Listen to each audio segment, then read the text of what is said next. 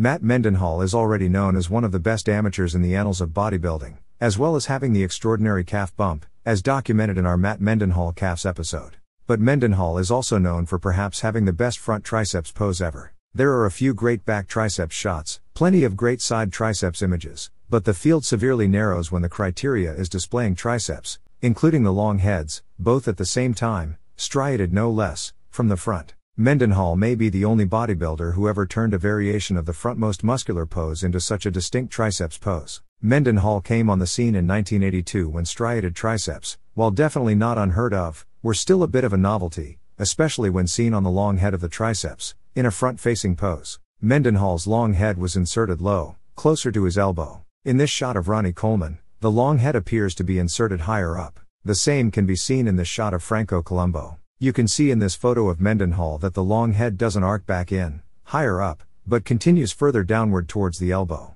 This line between tendon and muscle appears almost straight, making the long head clearly stand out separately on the arm. With Ronnie Coleman's arm, his underlying structure is lost in the overall mass.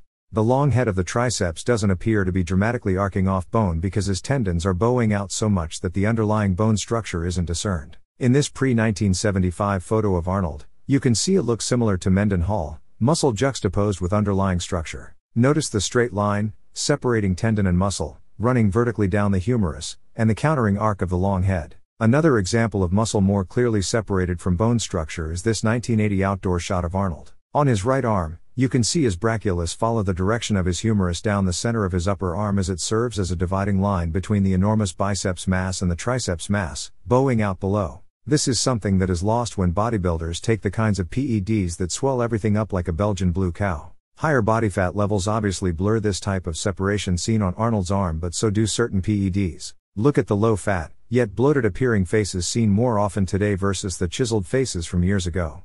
That low fat, yet fat like appearance doesn't end at the face. It strips the clarity of some of the underlying structure on the body like it does on the face. Separation can refer to muscles being distinct from other muscles but muscle distinct from the underlying bone structure as well. It's important aesthetically to have a strong semblance of bone structure visible through the muscle and to have joints small enough to contrast between heavily muscled areas. In addition to the triceps arcing off bone look, Mendenhall also shared with Arnold the small knee joint and flaring calves look, and took it a step further with smaller ankle joints.